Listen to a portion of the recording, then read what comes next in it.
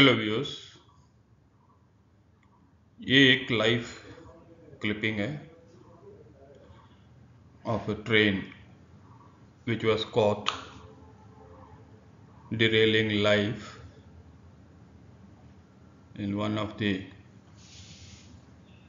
railways of northern India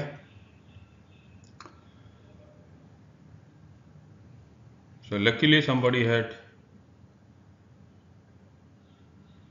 taken a picture of this moving train and uh, this is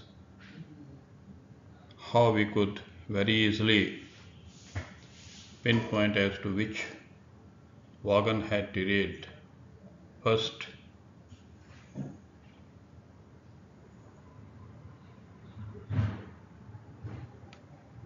It was moving at a speed of around uh, say 12 to 14 kmph about 3.5 degrees the curvature. And as is seen from the video itself also the speed is about the same around 14 12 kilometers per hour. This is loaded with the steel coils. We can see some wagons are having two some are having three coils. So how we can see? We'll just be able to see. Wait a few minutes.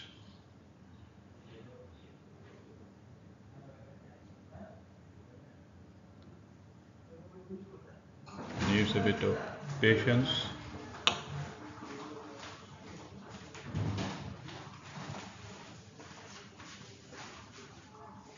we must thank to those who had made this clipping and since the boys are running and this is the wagon which has derailed yeah this is the first wagon which has derailed and subsequent wagons have moved over that said spot without drilling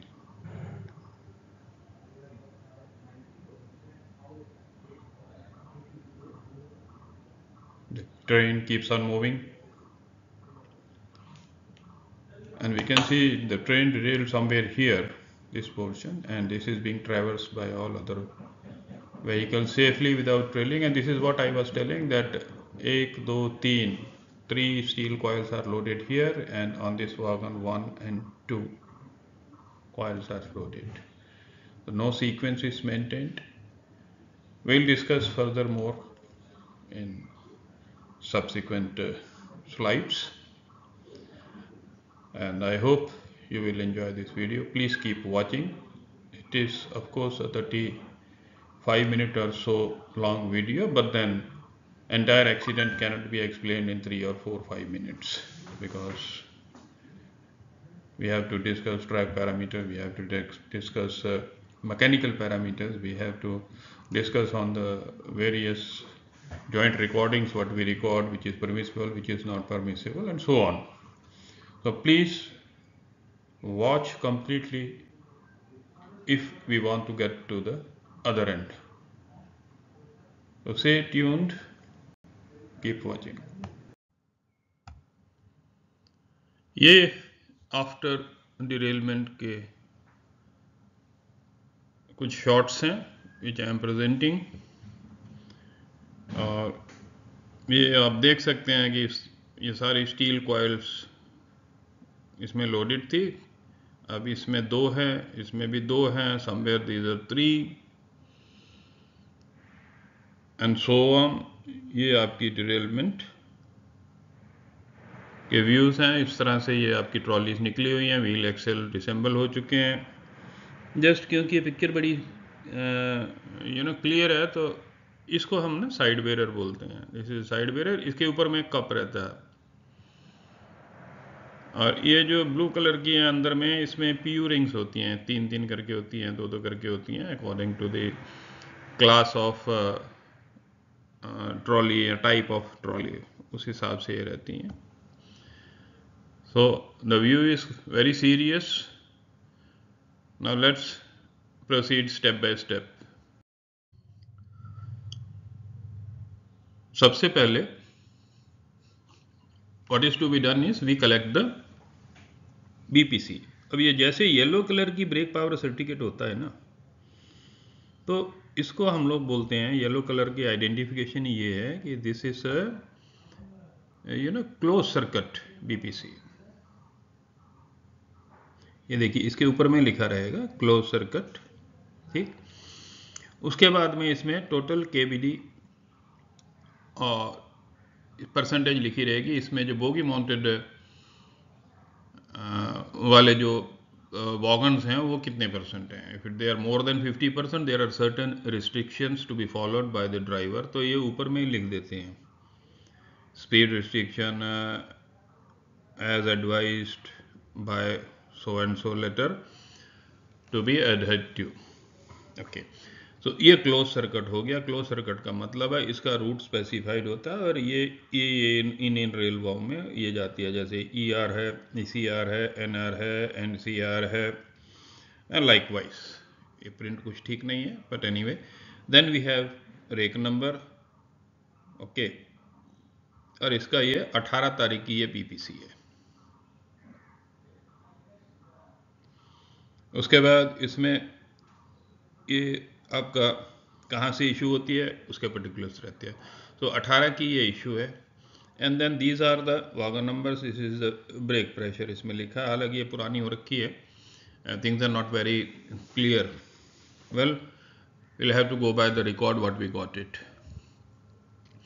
ये एक next page होता है, जिसमें ऊपर भी लिखा है distance travelled to be filled in by the driver so कौन दिन में गया डेट है, उसके बाद में which is a loco number train number कौन सी है ड्राइवर का नाम क्या है, कहाँ से कहाँ तक उसने उसको हॉल किया, और ये उसने किलोमीटर्स कितने ट्रैवल किए and this column gives you the cumulative kilometres travelled by the train in order to keep the validity of the BPC intact इसमें क्या होती है?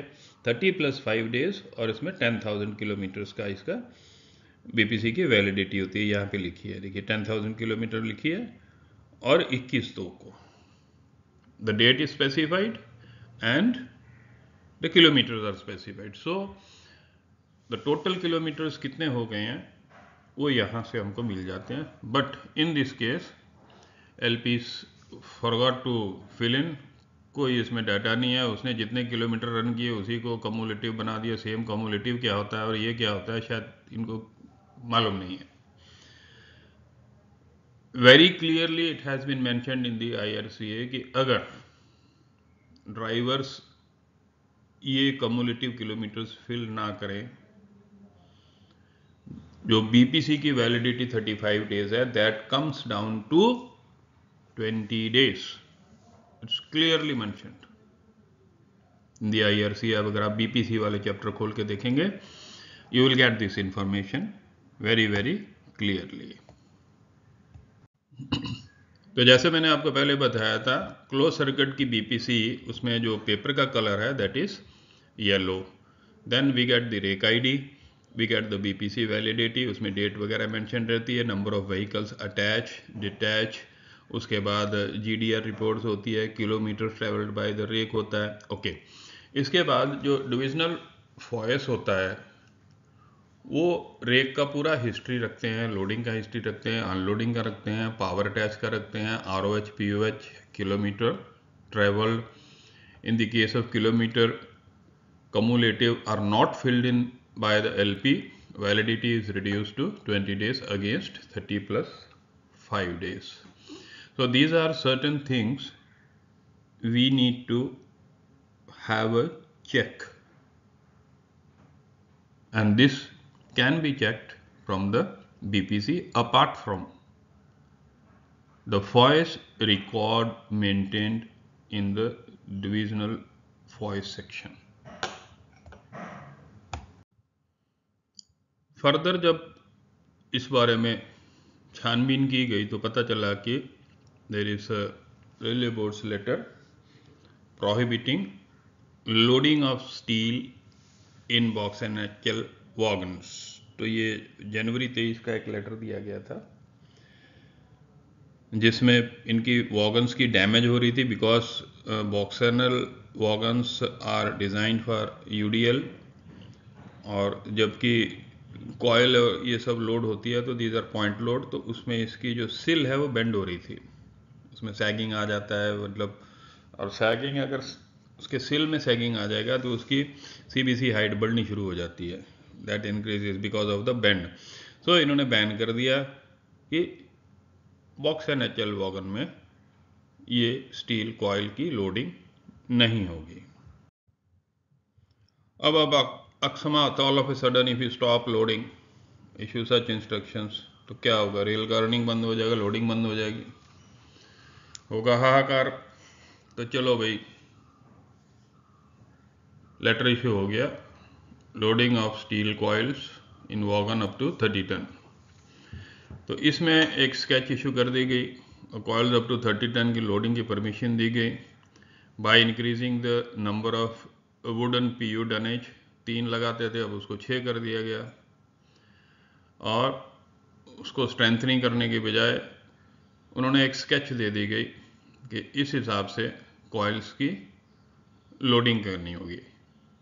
So this trial arrangement initially valid for six months post analysis of trial data बाकी decision फिर बाद में दिए जाएँगे with by R D S O और प्लेसमेंट ऑफ़ वुडन डनेज वो सपोर्ट उसको स्ट्रक्चरल मेंबर्स को like cross bar stringers bolster and centre sill of the wagon में भी उसको कुछ उन्होंने modification suggest ki the pattern of loading, lashing, securing of steel coil उसको इशू कर दी इंस्ट्रक्शन की loading is permitted in box and H L so with that letter ऐसी स्केचेस इशू कर दी गई।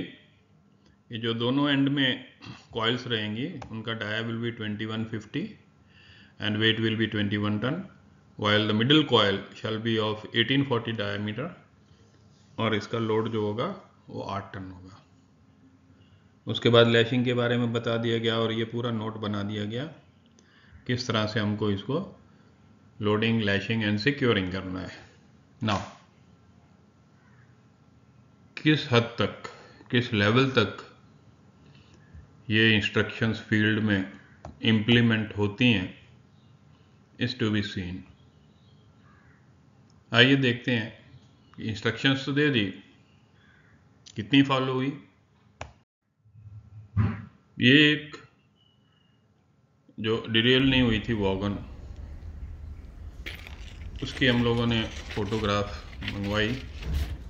यू कैन सी कैसे एक साइड में जाके पड़ी हुई है। डनेज वनेज सब डिस्प्लेस हैं। This is a wagon which has an detailed ये डिटेल नहीं हुई थी। And how proper securing was done is evident from the fact ये रास्ते में लैचिंग वैचिंग जो है घसक जाती है टूट जाती है and uh, nothing remains intact on most of the wagons what we had uh, uh, captured through pictures and all so ये दो coils हैं and uh, एक साइड में लगी हुई हैं both are not uh, central to the wagon ये आपकी साइड वॉल में लगी हुई है। और ये already video we have seen कि किस तरह से जो है अंदर बाहर से वीडियो लेने के बाद में we had seen by opening the flap doors also ये देखो, एक साइड में जाके सटी हुई है। So this this is eccentric loading और you can say it's side loading या अनइवन लोडिंग है। It's running pattern these wagons were on track which had not derailed so I have a relook at the wagons. So this is uh, just a sample uh, picture and uh, video of what had been and how it had been loaded and secured. Well viewers मैं जैसे कि हर एक video में derailment cases में एक ही चीज़ आपको बताता हूँ कि हमेशा आप बफर हाइट बड़े माइन्यूटली एंड वेरी एक्यूरेटली लीजिए that gives the pulse of the wagon देखिए, तीन चीज़ें आप देखो व्हील डायामीटर उसके ऊपर स्प्रिंग और फिर पेलोड ठीक? अगर व्हील डायर ठीक है स्प्रिंग भी ठीक है तो ओवरलोड हो सकता है, जिसके कारण हाइट कम हो सकती है। दूसरा व्हील डायमीटर ठीक हो लोड ठीक हो सस्पेंशन सिस्टम गया गुजरा हो तो बफर हाइट लो होगी। और तीसरा व्हील डायमीटर भी कम हो स्प्रिंग भी कम हो डिफ्लेक्शन उसका भी जो है लॉसेस हो गया हो स्पेसिफिक डिफ्लेक्शन तो भी उसकी हाइट कम आएगी गिवन लोडिंग इज़ ओके अब ये आपकी 36 सिक्स वॉगन्स नॉन डिरेल्ड जिसका हमने बफर हाइट लिया। तो the cells which are highlighted show the buffer height is less than the minimum required in loaded condition और इधर में अगर हम लोगों ने जो तीनों कॉइल्स का देखा था, ये एंड वाली कॉइल है these two are end coils and this is the middle coil तो मिडल में इंस्ट्रक्शंस में है कि आठ टन ही देना है इन्होंने। 21 टन का दिया है। दो। It does not exceed the payload but but the instruction not been followed. और ये वॉगन में बफर हाइट में देखिए, जिसके दोनों ही सेल वो पूरी की पूरी वॉगन ही टेन थर्टी के नीचे है, जिसके हाईलाइट किए हुए दोनों सेल वो सारी हैं, किसी में एक है, इसी में पूरी वॉगन ये दोनों वॉगन, दोनों एंड दोनों एंड ही इसके जो हैं दोनों एंड अब now see the fun over here 997 and 1062 just imagine. The height difference on the same wagon is 65 mm. 3 mm add करें तो थाउज़ेंड हो गया और इधर 62 तो 3 प्लस 62 65 तो maximum permissible is 64 millimetre mm. कोई नहीं देखता है। कोई नहीं देखता है। इसको आगे हम बताएँगे आपको कि देखना भी होता है कि नहीं देखना होता है। What has been followed what has been not followed so this amounts to 33 28 percent sorry of the buffer heights are out of the range तो गाड़ी रेक कैसे चल रहा है क्या मेंटेनेंस होती है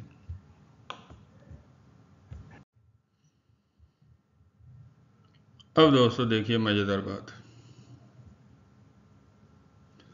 ऊपर से जब हम डिब्बा देखते हैं ना और हर एक्सीडेंट में हर एक को ट्रैक डिफेक्ट ही लगता है।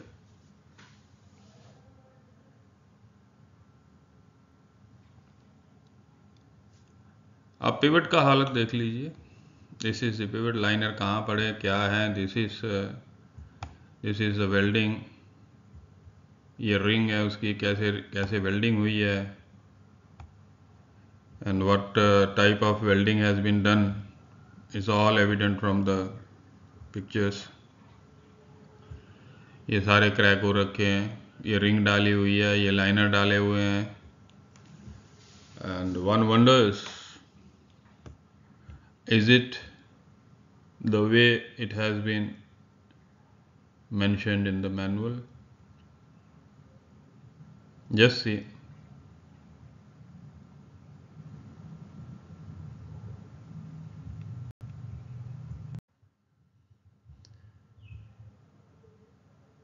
This is the one of the culprit wagon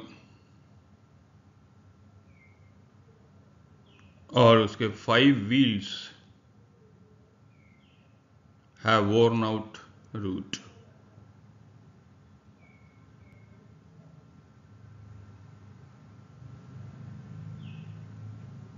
Can you imagine?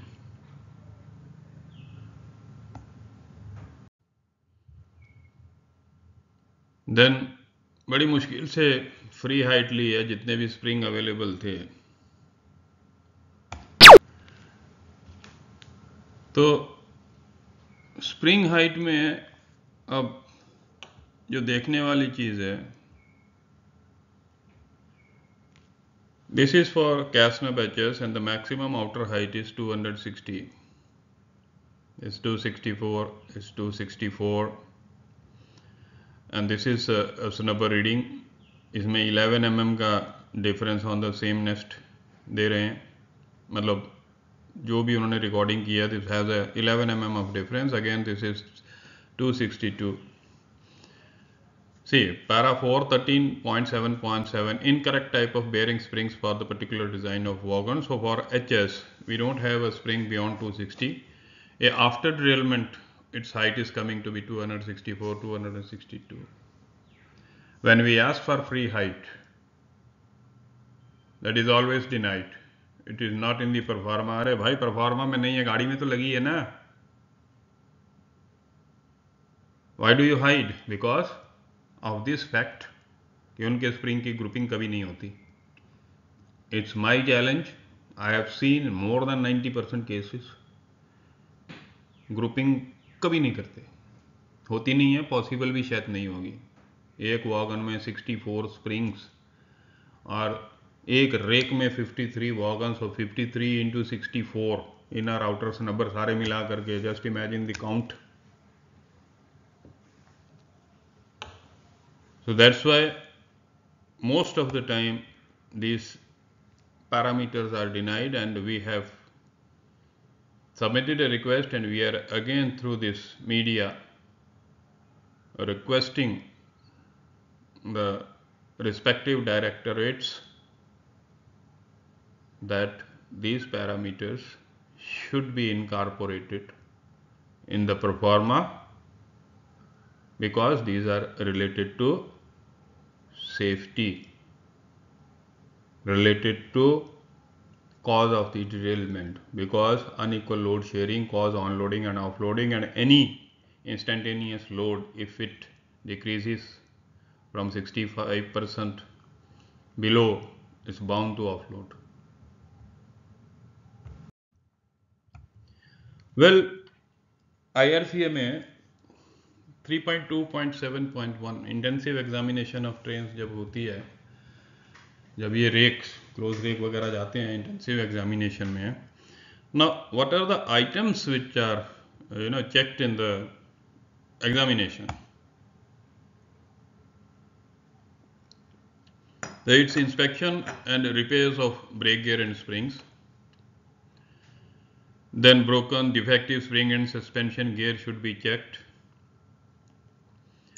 again look out for abnormal and unequal CBCR. This is most important what I had been telling wear plates, knuckle etc. to the extent it is possible to detect by visual examination in case of doubt the CBC height should be measured. Now this is very well mentioned with proper stress to this aspect that the CBC height should be measured if it is visibly doubtful.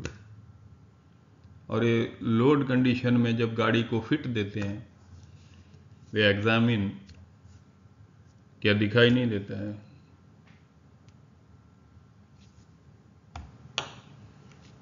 The bogies complete side frames and bolsters be visually examine for cracks abnormal change in the geometry and missing part bolsters springs snubber, spigots, center pivot, fastening, constant contact pad, side bearer spring to be checked for defects. तो ये सारी चीज़ें just those items I have picked up जो हमको इसमें मिली हैं इस case में इस ड्रिलमेंट केस में during joint observations and joint recording of the various parameters under relevant columns जितने भी हमें items मिली हैं वो इंटेंसिव एग्जामिनेशन का ही एक पार्ट है and that is very well mentioned in the I R C A so that I have try to put together in this slide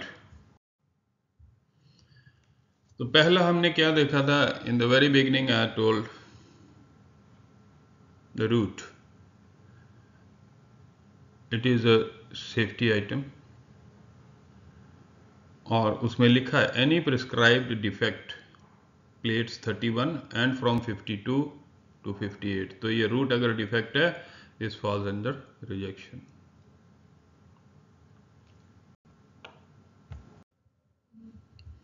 the next item is the buffer height this is also an item which is check during intensive care what I had already मैं and these are the rules which say that the height should not be more than 64 and we have got it here 997 1062 which amounts to 65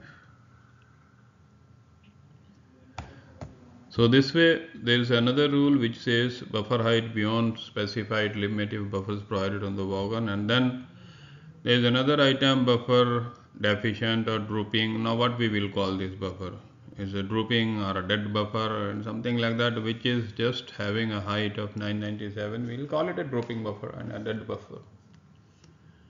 It's again a rejection item. Well the third item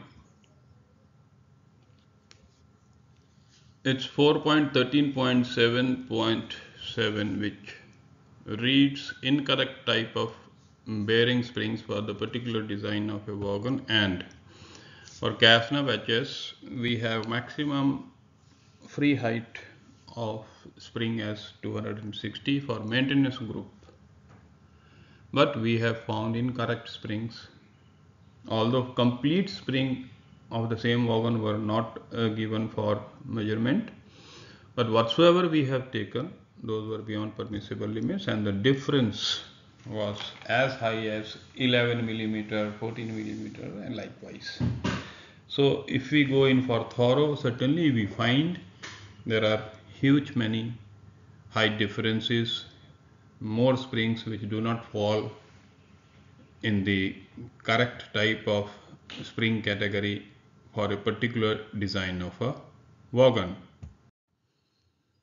Well the fourth aspect which we need to look into and uh, make it a point was the loading of consignment. The RDSO's instructions not followed. Dunnage latching was improper and central third coil loading pattern also not followed although this did not exceed the total payload or the carrying capacity of the wagon but when it is mentioned that the central coil shall be of 8 ton that has a meaning. To avoid on run defects in the wagon. So these were the few four items which were recorded and noticed as a drawback as a shortfall as a defect as a rejection in this uh, train which met this accident so ये सारी चीज़ें हमने gradually gradually एक एक करके we event and reach up to this defects so this was the way in which we proceeded for this derailment well friends thanks for watching और सारे कहते हैं ना कि मेरा बहुत तजुर्बा है। ये कॉयल ट्रेन का मेरा अपना पहला तजुर्बा है। मैंने कभी कॉयल लोडेड वॉगन्स का जो है I have never faced derailment throughout my long career and we try to be very true to the parameters which are only responsible for causing a derailment इसमें we have seen very clearly there was a video which pinpointed which wagon the first और हमने उसी wagon के ही parameters लिए and to sum up क्योंकि ये capsize हो चुकी थी they were hardly exact parameters which we could take for the suspension system but जितने भी हमने स्टार्ट किया ट्रैक से ट्रैक में पैरामीटर वर्साइन जो हमने निकाल करके कैलकुलेट करके भी देखा कि acceleration lateral acceleration was within the permissible limit second parameter था हमारा क्रॉस लेवल का so that is also within uh, 35 mm per second at the given speed at the working speed at the traveling speed that is also less than 35 mm far far less than 35 mm per second right so these are the two parameters which are critical उसके बाद when we started from rail से ऊपर चढ़ते हैं wheel में तो out of eight five were having worn out route which fall at rejection rule we have given उसके ऊपर चलते हैं सस्पेंशन सिस्टम में तो नॉर्मली इनका कहना होता है मैकेनिकल फ्रेंड्स का, कि स्प्रिंग जो है आफ्टर एक्सीडेंट जो है, वो डैमेज हो जाते हैं। बट माई सिंपल क्वेश्चन इसकी भाई, दो सौ चौंसठ की हाइट कहाँ से आ गई? लंबे कैसे हो गए स्प्रिंग मतलब वो कंप्रेस हो सकते हैं they can't be pulled up you ना तो वो एक इसकी मतलब इंडिकेशन जाती है कि suspension system was very very you know poor there was no proper matching and grouping of the springs जिसमें तीन एम mm की परमिसेबल हाइट की ग्रुपिंग की जाती है उसमें हमने अवेलेबल स्प्रिंग्स में 14 तक का डिफरेंस पाया गया 11 तक का नंबर में डिफरेंस पाया गया so this clearly indicates that suspension system was very poorly installed on this uh, wagon. और दैट वाज फर्दर इंडिकेशन कि हम जो है पिवट में ऑयल uh, ग्रीस नहीं करते. I have mentioned a very relevant para G ninety five का four point nine point two है शायद ऑन पेज टू में. वहाँ क्लियर लिखा हुआ है कि लुब्रिकेशन करना है. अगर आप आर डी एस ओ का लेटर देते हो तो ये पारा जो डिलीट हुआ है तो भाई इसकी भी कॉपी दो ना. हमें भी ज्ञान बढ़े. हम उल्टा सीधा क्यों आपको कमेंट मारे कि नहीं आपके तो लुब्रिकेशन करनी आप कहोगे नहीं हमें तो एडी ने मना किया है. एडी वॉगन का लेटर है आरडीएसओ का. तो आपके मैनुअल में तो वो provision G ninety five which is meant for only Casnub bogie maintenance उसका para four point nine point two जो if I am correctly saying on page two that should have been deleted और उसकी जो है deletion की जो correction slip issue हुई है that should be produced so just किसी के बोलने से या एक लेटर दिखाने से, वो कंप्लीट वर्शन नहीं होता है उसका। उसके ऊपर आते हैं तो पिवट जो थी उसमें यू you नो know, उसके सेंट्रल पोर्शन में जो लाइनर लगता है दैट शुड बी वेल्डेड लेकिन वो as a foreign material act कर रहे हैं। See whatever I am saying I am saying from the drawing I am saying from the manual I am saying from the relevant circulars ऐसे कभी भी we don't comment and वो entertain भी नहीं होता है। ओके okay, उसके बाद में सो साइड बेरर्स को जब हम देखें तो टॉप प्लेट जो है उसकी कंप्लीटली वोर्न आउट थी। जिसमें कि आपका eight two nine M M की ग्रूविंग कटी हुई है। सो दैट इंडिकेट्स कि हैवी लोड आता था उसमें and there was heavy you know frictional forces so summing up again started from root wear to suspension system, to side wear, to और liner system जितने भी थे उसके इतने लूज से they were acting as a total obstructive foreign members कह लो या आइटम्स कह लो या कंपोनेंट कह लो which cause huge obstruction and probably cause the derailment. This is what it appears to me. It's my personal view. Further to inquiry है inquiry अपना आएगी and they will have their own views. But the major defects what I have got, what we have seen, what we have recorded are very clear.